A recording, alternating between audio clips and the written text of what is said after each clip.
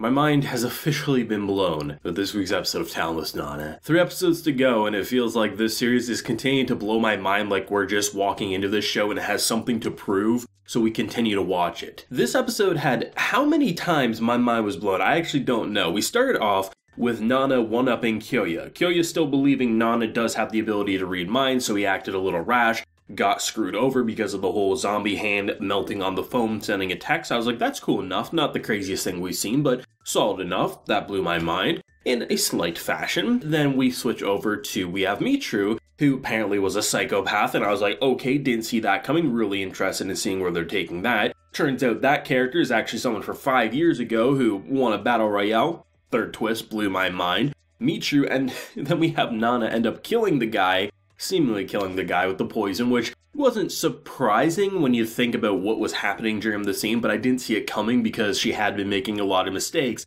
And then we twist it with that same guy being alive because not only can he transform, he takes on the power of the people he transformed to, really is the true enemy of humanity. Five times this show blew my mind in a 22 minute time span, and I'm like, this is why you're my favorite show of the season. Critically, there's better shows, I believe, but in terms of pure entertainment, nothing takes the cake for me. This show, I feel like, has a very solid way of saying, hey, yeah, we're trying to make sure we continue to blow your mind like episode or arc by arc because we want you to be like, oh, I didn't see that coming, which is honestly the same thing kind of classics such as Death Note use. What this series does a little differently than a lot of those shows is they make their characters vulnerable to mistakes. I think this is probably the first time we've truly seen Nana in her internal monologue almost shit her pants when she won. She was able to beat Kyoya, and she goes over her plan. She had essentially a few different plans of how to do it, and because of how tired she was, because of everything that she was doing throughout the past arc here with the whole zombie thing,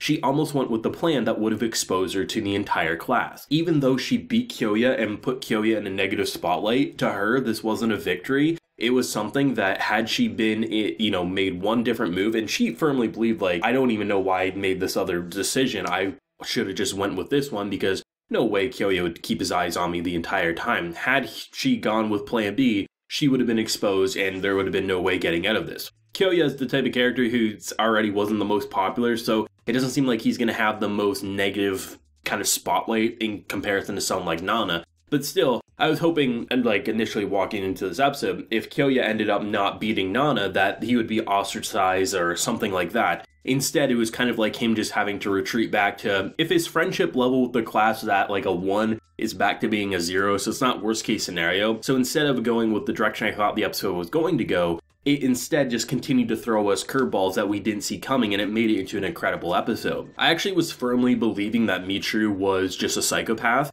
because there's been so much about her character that you're just like, oh, she's so nice. But when you're faced with so much insanity, you don't really think, oh, she's clearly a psychopath who's going to cut her throat. So her falling asleep thinking like she's such a weird girl, she is a weird girl because she's a killer in the making she's been indoctrinated in thinking that killing all these kids, what good or bad is, isn't up for her to decide. She's just following orders. And she wakes up to a goddamn cutter to her throat. That was so shocking to me. And what I really like about Talentless Nana is despite us knowing that its formula is trying to shock and awe us, I kind of believe everything at surface level when it initially happens because it throws us so much information. So when crazy things happen, you take it at face value. So then when they twist it on its head, you're like, oh, I probably should have thought a bit harder about this and realized that she had a bandage on her hand. There's no way, you know, things like that would happen. There's so many different elements, and the idea of her trying to expose her not being able to read minds, I thought was genius because it's such a simple but I think evil way to expose your leader as being a fraud. I have a gift for you. What's in the gift? You don't know because you're tired. I'll come back later. How do you even defeat that? Oh, you put a note on her back to say, I love Nana, so everyone in the class would be thinking about it and it's a way to save face.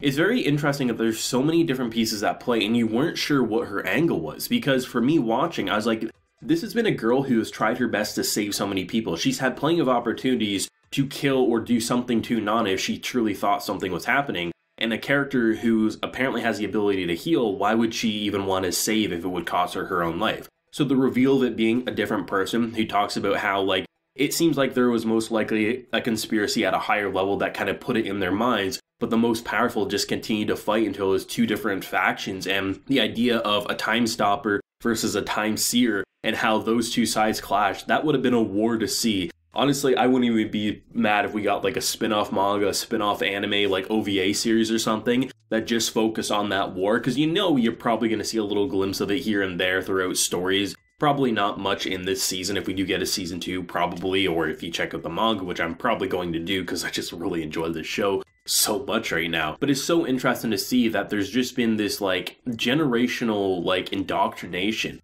Last time it seemingly was like planting the seed of doubt in people's mind. This time it's sending a killer in. And the idea that most of the zombie bodies that we've seen who were in different uniforms and what we're seeing currently, they were pretty much his classmates, which he buried, he admitted. So that kind of covers a little bit of a plot hole that some people were bringing up. They're like, oh, are we even going to touch upon this? And here it is, Talentless not saying this is why it happened. But then there was some that didn't match his own. So it seems like this has been happening for a very, very long time. And it's almost like each generation or the each wave that they send in some form of way to kill the talented because at this point a safe bet would be that most likely the normal humans are just scared of those who are more powerful than them and they've been indoctrinating people to do their dirty work for them you probably could just launch a nuclear bomb on them but then again it's probably something to the lines that you don't want other countries to know you're killing your own or killing theirs or something like that so it's probably trying to be kept on the down low so normal people wouldn't know about it because honestly, the fact that we live in a world here where talented just happened the same way in like a series like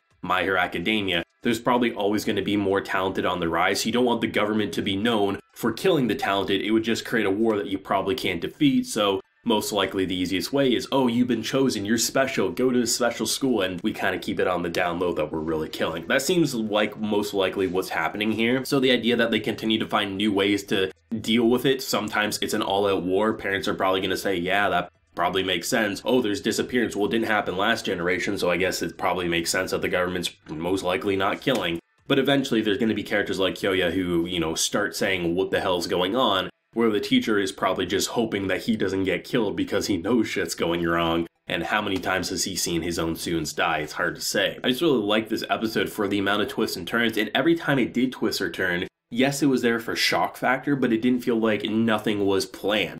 The whole cuts and Michiru not healing herself, you could argue in the moment, oh, she doesn't want to waste her own life on herself.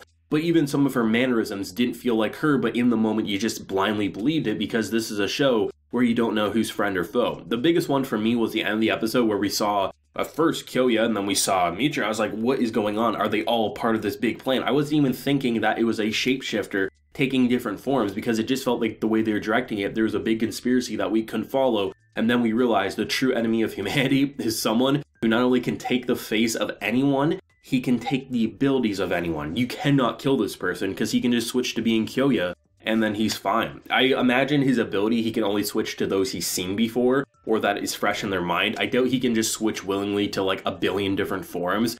I would imagine that you'd have to have a pretty eidetic memory to be able to remember everything. But it's interesting the idea that the cat, a simple cat that probably everyone assumed was just there because it's anime. Kyoya feeding a cat just kind of makes sense and is a good way to try to kill Kyoya in the barn. At the end of the day, this was just everything has been so perfectly structured that yeah, it's not the most critically written masterpiece of all time, but it does have planning and structuring. And when characters like Nana get out of it seemingly unharmed, it's not like she got out of it unharmed. I honestly think her biggest foil is her own mind and her seeds of doubt. Why is she so fascinated with a girl who seemingly is so selfless when she herself was raised to be selfish? It's so interesting to see a character like this really start to doubt her own training from an indoctrination that probably since she was a baby. There's a lot of things happening, and with three episodes left to go, and a character who at this point you really were kind of on his good side, and now you seemingly try to kill him, you're gonna have to obey his every command or you're completely screwed. This is the character who is her biggest foil